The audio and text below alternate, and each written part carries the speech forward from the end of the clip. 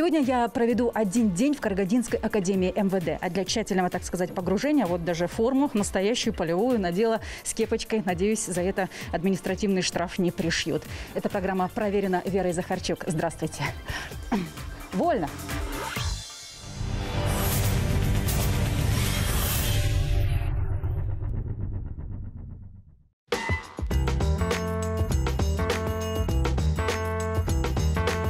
Проверка моя началась с аудитории, где преподают уголовно-процессуальное право. Тут же чуть было и не выписали, кстати, штраф за форму. Накаркала называется. Можно, ну, без камеры, да? Да, можно. Административное взыскание существует, если человек одевает форму э, полицейского, А, да. да? Если ее используют э, в что в э, каких-то действиях, преступ, преследуют какие-то цели, Ага. уже уголовно наказуемое деяние. Но свою работу Стена- могу выполнить, стена да? нашего учебного заведения, конечно. Уф, ну, вроде бы пронесло. Делегация проходит в полном составе. Здравствуйте. Это вот тоже проверка, понимаете? Я проверяю, и, пожалуйста, с министерства все проверяют. Значит, тут сегодня все хорошо, ничего плохого не найдем, судя по всему. Ну, поищем. У вас тут какие-нибудь уроки антикоррупционные проводите, а? Можно без микрофона? Про коррупцию сразу доводим, обучаем. Само вот это зло, оно, видите, оно идет извне, понимаете? Вы как-то работаете, да, над этим делом? Э, И работают основательно. Здесь даже терминал честности есть. Если даже неуставные взаимоотношения коррупционного характера, все-все можно будет сообщить, по, нажав на кнопку. Что, есть прецеденты, да? Нет, прецедентов нет, но если нажимаете на эту кнопку, и, И? оттуда вам ответят. Ага, так. Оттуда вам ответят.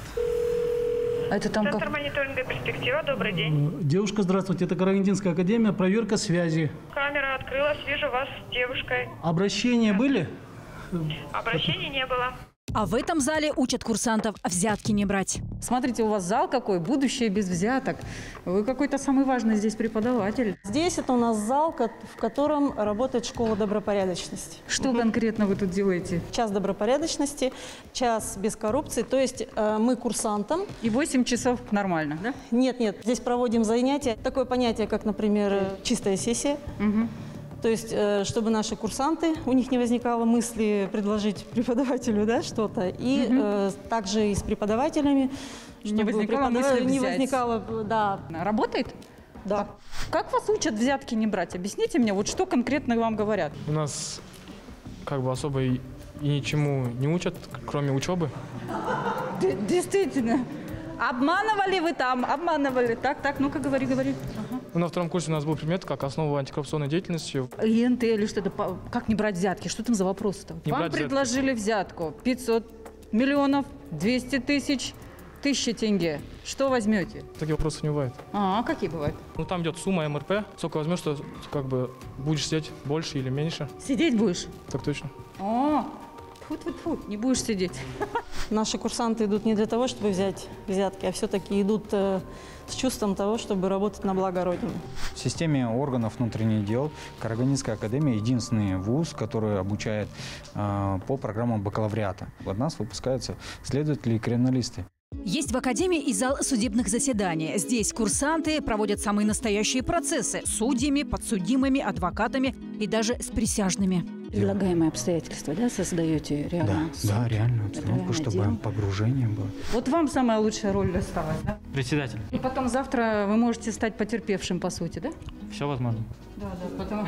То есть вы меняетесь ролями, чтобы знать, так сказать, э, изнутри всю, всю систему, да? Да. Мы хотим на ошибках следствия, которые возникают в ходе судебного процесса, уже заранее знать, какие ошибки допускает следствие, чтобы в судебном процессе их не было. В академии можно играть роль, главное, Да. чтобы потом в жизни они роли вот, не играли, вот, вот. да? Конечно. Спасибо большое, да. Вы правы. А вот еще одно новшество в учебном заведении – кабинет ораторского мастерства. Новенький совсем, ремонт вот только заканчивают. Все это реализуют по дорожной карте модернизации внутренних дел, где одним из этапов является совершенствование коммуникативных навыков сотрудников внутренних дел. В общем, будете учить разговаривать. Учить разговаривать с, с населением, А то с людьми. ваши, кроме вот это уважаемое, больше ничего не знают. Лучше э, вот это обращение искоренить вообще, потому что оно как ругательство слышится, вот честно. Это я вам вот, вот передаю прямо э, вот эту вот боль народа сейчас. А, в- обязательно. У вас вот э, там, где учат как взятки не брать, кабинет большой, а как разговаривать, кабинет маленький. Ну, я думаю, это нам достаточно. для- Достаточно? Они отсюда не уезжают, правильно? Не уезжают, да. Их срок обучения одновременно зачисляется в стаж службы. Более того, а, весь срок обучения в нашей академии зачисляется в срок воинской службы. Значит, сейчас мы посмотрим, как люди там в казарме живут, в Сейчас. каких условиях, да? Здесь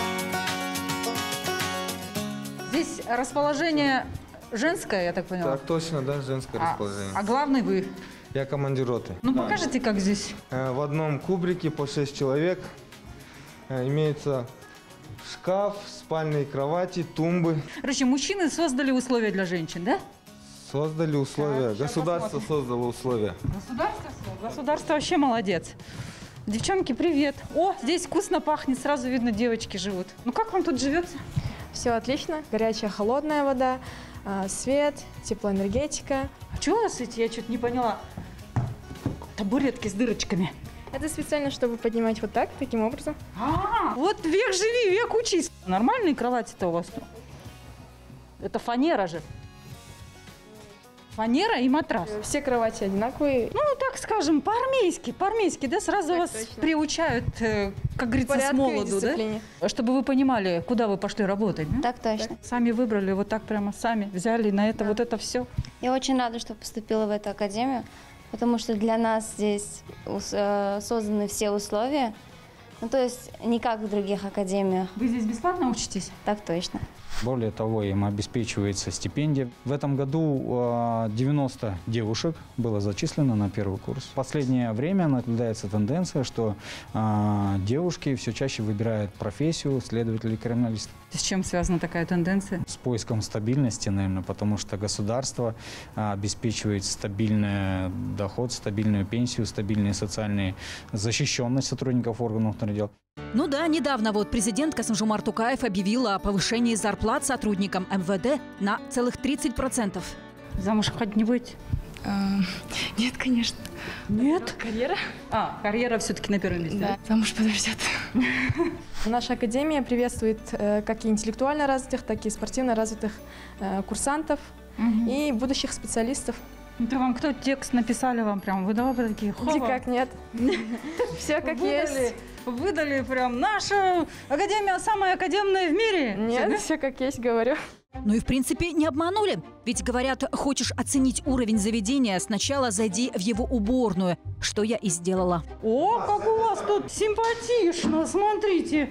Два с этой стороны, два с той стороны. В каждом кубрике по одному туалету с душевой. Правда, дизайн немного подкачал. Вот таких туалетов уже не делают, а у нас все строят и строят. Вот с этой вот. По уставу, как оказалось, не положено и еще кое-чего. Девочки, я бы устроила скандал, честно. Душевая туалет, да? Ни одного зеркала нет. Вы же женщины. Это как... Я вот устроила бы будет. скандал. А? В ближайшее время будет. Зеркало будет? Обязательно. А штор тоже по уставу не положено? Положено. Тоже будет. А. В скором времени. Дальше по маршруту был тир. В каждом кабинете мне здесь лозунги нравятся. Оружие шуток не любит, ошибок не прощает. Слушайте, а вы куда метились-то? Мне кажется, вот если в голову, то это не самый лучший результат. Или тут главное в человека попасть? Нет, вот э, есть линия, белая линия, нужно попасть в нее. И к таким на мушку лучше не попадать. Из трех выстрелов все в цель. Еще и на время. По данному упражнению это оценка хорошо. Никто не обижает вас тут, да? Нет, конечно. Хотя, что я спрашиваю? То, как вы стреляете, какая разница, кто вас обижает, да? Вы сами за себя постоите. Ну, если что, постоять тут за них есть кому. Парни здесь учатся бравые. Я являюсь полицейским по династии, то есть э, моя родная сестра, мой отец, мой дед являлись э, сотрудниками органов внутренних дел. То есть э, И мой... выбора вам не оставили. Нет, знаете, честно говоря, чтобы доказать, так скажем, самому себе и показать в данный момент всему населению не только нашей страны, но и всего мира, что полиция это не какой-то, так скажем, просто карательный орган, а в первую очередь друг и помощник обычного гражданина, обычного человека. Как в советское время, да? Помните, дядя, друг, милиционер? Дядя Степа. Ну да. Другом же был, да? Конечно. А сейчас этих дядей Степ не найдешь среди вас. Нет, Есть? почему? Просто люди нехорошо э, всматриваются. У нас вот аллея генералов. Мы находимся на самом священном месте для любого военного. Это плац. Вот так вот по периметру. а, фотографии генералов. Это выпускники этой академии. Всего их 66 человек. 56. Сейчас в данное время они замминистры, министры. Это наш первый, э, первый министр Республики Казахстан Шумов А. Владимир Георгиевич. Чтобы у ваших Всему курсантов был стимул к чему стремиться. Да, да, да, да, чтобы на них равняться. Это вот преемственность поколений. Мечта есть рядовой? Конечно, получить э, две лейтенантские звезды, ну а дальше, конечно же, одну большую генеральскую. Желаю тебе этого. Молодец. Спасибо. Ну а в завершении моей экскурсии по академии мне показали релаксирующую стену, на которой я оставила автограф. Проверено. Академия хорошая, поступать можно. Самое главное, их учат здесь, как взятки не брать. Это была программа «Проверено». До встречи на следующей неделе.